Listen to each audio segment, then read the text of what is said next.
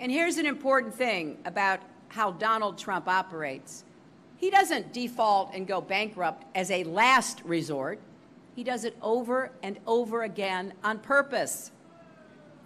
Even though he knows he will leave others empty handed while he keeps the plane, the helicopter, the penthouse. It's not about what he can build, it's about how much he can take. The people he's trying to convince to vote for him now are the same people he's been exploiting for years. Remember what he promised. I'm going to do for the country what I did for my business.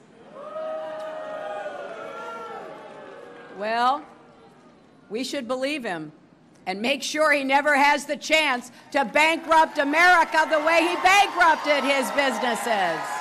His campaign said, let's sell off America's assets. Where do we start? The Statue of Liberty? And this isn't about Democrats versus Republicans. This goes far beyond that. Donald Trump is temperamentally unfit to be president of the United States. We need to write a new chapter in the American dream, and it sure cannot be chapter 11.